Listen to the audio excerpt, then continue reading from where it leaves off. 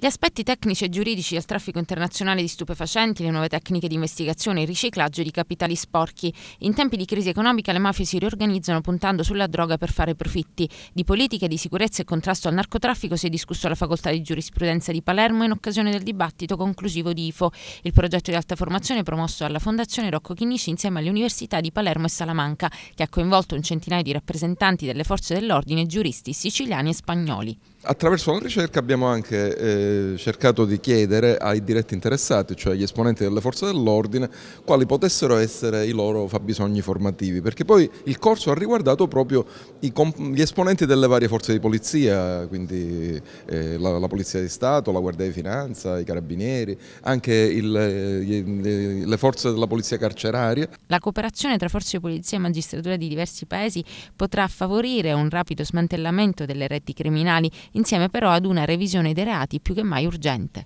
Consumo, traffico locale, traffico internazionale. È necessario chiaramente da un punto di vista normativo, già tanto si è fatto, per eh, la, ehm, collegare le varie indagini a livello internazionale l'Interpol, le norme che mano a mano sono modificate, Palermo è la nostra provincia, la diffusione chiaramente c'è, il contrasto è molto forte. Devo dire che eh, questo per aspetto della repressione, la prevenzione è un campo molto importante dove grande parte sta operando la scuola, devo dire come sempre, oltretutto. Eh, anche, ehm, ma eh, non solo le organizzazioni laiche ma anche le organizzazioni religiose.